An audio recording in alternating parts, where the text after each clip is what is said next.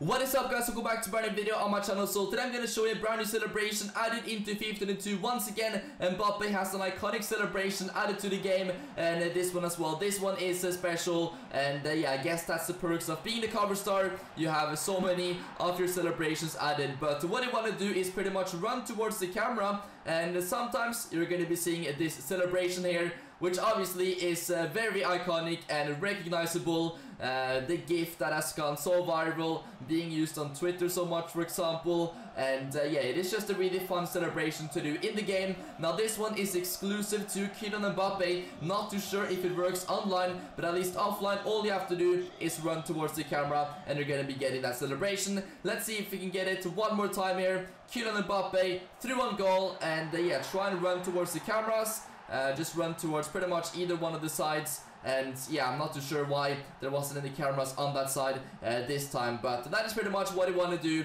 Really cool celebration into the game. So uh, drop a like on this video if you want to see more hidden celebrations like this. And subscribe as well for more content. And I'll see you very soon with a brand new FIFA 2 video. Peace out.